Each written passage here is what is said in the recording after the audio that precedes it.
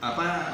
8 tier 8 kan kita website 8 kita upload kan kita lihat. Itu ada ada titik koordinat.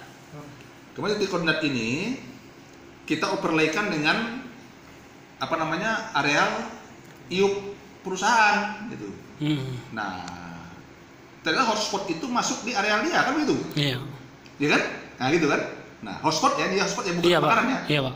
Eh, kebakarannya kita mau klarifikasi lagi tuh perlu klarifikasi Hmm. Nah, jadi hotspot itu bisa kita overlaykan dengan eh, areal izin IUP ya eh, perusahaan masuk. Itu yang yang yang tadi dari Beto Pak eh, berapa perusahaan yang masuk? Belum ada, Pak. Nah, itulah Pak, detailnya katanya. Ah, ah, ah, itu lah. Ada Ada beberapa berapa perusahaan masuk? berapa berapa banyak, Pak? Ada.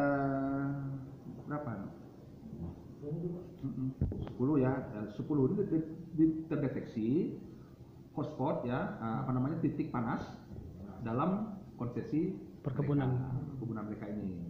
Nah, Ini kan. Hmm. Tapi apakah dia dalam daerah yang ditanam atau mungkin di semak-semak ini kita kan belum tahu. Karena kan areal itu kan luas.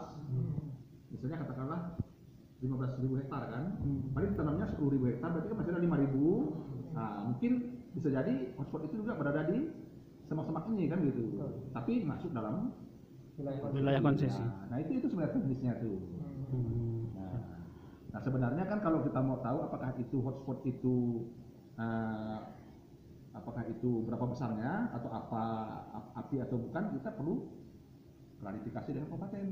Hmm. Nanti tindak lanjutnya gimana Pak? Ini Nah, tindak lanjut dari kan nggak udah ada datanya nih. ya, apanya? Udah ada Iya, Pak. Data tiga hotspot ini kan udah ada di perusahaan-perusahaan. Nah, tindak lanjut dari dinas perkebunan sendiri Ya. dengan perusahaan seperti apa nih, Pak? Loh, kita kan nanti kan akan um, meminta klarifikasi dari kabupaten dulu, Pak ya. Kabupaten dulu. Kabupaten lewat? Lewat dinas perkebunannya. Oh. Nah, tolong dilihat hotspot ini di mana gitu kan gitu. Hmm. Nah, tapi kemungkinan menurut saya itu hotspot ini pasti di di luar tanamannya? Yang mungkin sekitar-sekitar area yang diusahakan oleh oleh masyarakat mungkin ya. Tapi belum tahu juga kita makanya nanti kita perlu klarifikasi. Kita akan minta ya Pak Ardi ya minta eh, klarifikasi dari dinas perkebunan eh, apa namanya kabupaten ya untuk supaya menyampaikan hotspot itu di mana gitu. Kami mendeteksi provinsi ini ada titik panas dalam konsesi dia gitu kan itu Betul.